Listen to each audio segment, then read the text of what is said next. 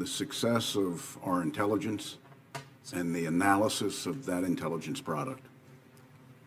Your thousands of employees deserve the thanks of this committee, of this Congress, and of the American people. Likewise, President Zelensky and the Ukrainian people have reminded us that democracy does not come without a cost.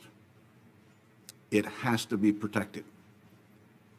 This democracy, the independence of Ukraine, demands that democracies around the world respond with everything needed to preserve Ukraine's independence and democracies that are threatened. Likewise, uh, leaders like Putin don't want their people to have the freedoms that we cherish and that we strive to protect. This would not be possible without the men and women who work for you on behalf of not just this country, but democracies around the world. We are eternally grateful for all the work that they do, but more importantly, the response that they've had to this current challenge. Mr. Chairman, I have no questions in open session.